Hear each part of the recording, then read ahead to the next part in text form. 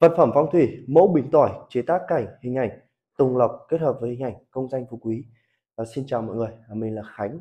Mình chuyên giới thiệu và chia sẻ về những sản phẩm gốm sứ cao cấp của Bát Tràng với mong muốn giúp tất cả mọi người chúng ta xem là có thể hiểu rõ nhất về sản phẩm, không phải nhìn qua hình ảnh, mọi người có thể xem video trực tiếp. Và hôm nay ở video này xin phép được gửi đến mọi người một mẫu bình tỏi sứ họa tiết vẽ từ cung bằng tay, họa tiết là màu lam, à, chất sứ trắng và đã được mạ thêm vàng 24K. Kích thước của tác phẩm là cao 50 và đường kính bụng là 37. Cao 50 và đường kính bụng là 37. À, như mọi người nhìn thấy ở trong video này, cái nền sứ màu trắng tinh như đá, trắng muốt, trong bóng và sâu, trong bóng và sâu. Cái loại này là loại sứ đẹp và cái loại men rất là đẹp nhé. Đấy, thực tế thì mọi người nhìn luôn thực tế đây, mọi người có thể cảm nhận được về cái tác phẩm, về độ dày và độ nặng của tác phẩm cũng rất là dày và nặng. Đây là sứ xuyên sáng này, chúng ta sẽ nhìn thấy những cái ánh vệt vẹt sáng nhỏ đây này. Đây. ta sẽ nhìn thấy cái sáng nó chạy nhỏ nhỏ đây này.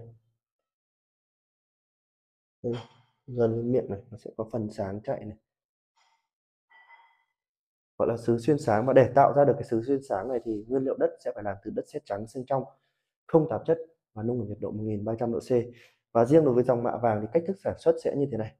Đó chính là sau khi mà tạo thành một chiếc bình họa tiết màu xanh lam rồi như là đã, một chiếc bình đã hoàn thiện thì vẽ thêm vàng nước lên bên trên và nung lại nhiệt độ 800 độ C. Cái vàng sẽ bám trên này rất là chắc nhé cái vàng này thì sẽ không bao giờ bị xỉn hay là xuống màu.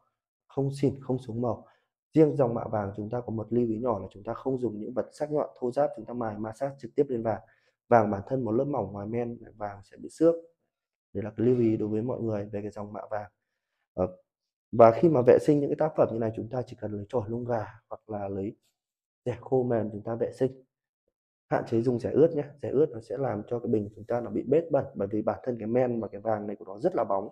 Chúng ta cứ tưởng tượng kính như thế nào thì cái cái tác phẩm này chúng ta sờ nó y như vậy. Kính nhé. Trơn mịn và mượt y như vậy. Và rồi, ok, bây giờ đến cái họa tiết ở trên tác phẩm. Thì như chúng ta nhìn thấy cái mặt này là hình ảnh chế tác một cặp hiêu lộc kết hợp với cây tùng. Hiêu lộc là biểu tượng của sự may mắn tài lộc đến với gia chủ. Tài lộc ở đây là ý nói đến tiền tài cây tùng là biểu tượng cho cái sức sống mãnh liệt, dẻo dai. Tùng, như chúng ta biết là cái môi trường sống của tùng thì cực kỳ là khắc nghiệt rồi, rất khắc nghiệt, mà cây tùng vẫn vươn sống tươi tốt được, phát triển mạnh mẽ thì là thể hiện cái ý chí, nghị lực rất là kiên cường. Tiếp theo thì đến hình ảnh trên phần cổ là kết, cái tác phẩm chế tác hình ảnh là cái họa tiết là chim công. Chim công đang đậu ở trên cái cây tùng. Chim công là biểu tượng sự phú quý giàu sang, chức tước địa vị và thăng tiến trong công việc. Đây là hình ảnh chim công, một cặp chim công có thể hiện cho tình cảm vợ chồng bền chặt sắt son, gia đình ấm no, hạnh phúc. Đây là hình ảnh chim công nhé. Trên một tác phẩm này có hai cái tích. Tích chim công là công danh phú quý và tích tùng lộc.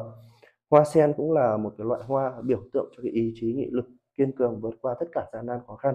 Bởi vì chúng ta biết môi trường sống của sen rồi, vượt qua một lớp bùn, vượt qua một lớp nước để vươn lên bên trên, nở thành những bông hoa với hương sắc ngào ngạt thì cũng như con người chúng ta, để đạt được thành công thì chúng ta phải vượt qua gian nan vất vả khó khăn. Thì cái, khi mà vượt qua được những cái điều gian nan vất vả khó khăn rồi thì chắc chắn là chúng ta sẽ nhận được những cái quả ngọt. Và chính là những cái sự thành công trong công việc hoặc là trong cuộc sống. Chất xứ đây, nặng, tác phẩm này rất là nặng nhé đây dưới đáy này.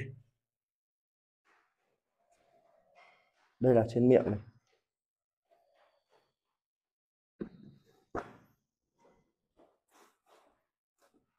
Chúng ta cùng nhìn.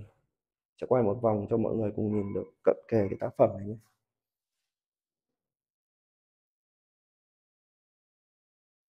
Giờ thì mình uh, xin phép được quay cận vào tác phẩm để chúng ta có cái nhìn rõ nhất. Uh, nếu như mọi người đang quan tâm đến cái dòng sản phẩm này thì mọi người có thể lên trên kênh và mục danh sách phát và mục bình phong thủy mọi người lựa chọn. Uh, đường link mình sẽ để ở mục mô tả của video và cái mục bình luận mọi người có thể bấm vào cái đường link để xem nhiều hơn nữa những cái tác phẩm gốm sứ của bát tràng và tất cả những sản phẩm này chúng tôi đều giao tận nơi toàn quốc nhận hàng, kiểm tra đúng mẫu nguyên vẹn, không sứt mẻ thì mọi người mới nhận hàng. Giờ mình xin phép được quay cận vào tác phẩm. Và giờ thì mình đang quay cận vào tác phẩm đây như chúng ta nhìn thấy nhé là tất cả những cái viền này đều là viền vàng kim hết này. Thử lên cho mọi người lên nó phải lên ánh vàng kim như thế này nhé đấy, chúng ta nhìn này, cái vàng này rất quay để rất khó lên được. Và chúng ta nhìn này, vàng nó sẽ vàng kim như cái phần chân này phần ờ, người của hiêu này.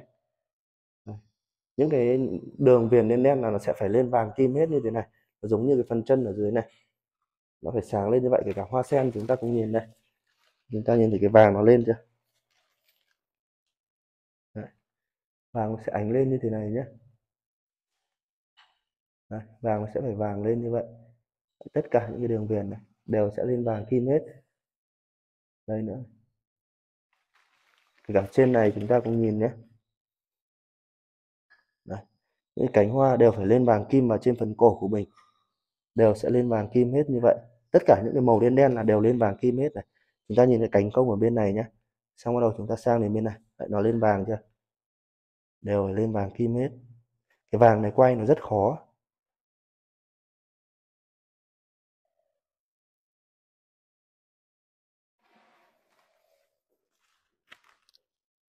Cái mẫu dáng này là dáng tỏi đèn lồng nhá bụng phình à, ví dụ như mọi người thích chế tác mẫu cảnh nào thì chúng tôi đều chế tác được hết nhé theo cái yêu cầu của mọi người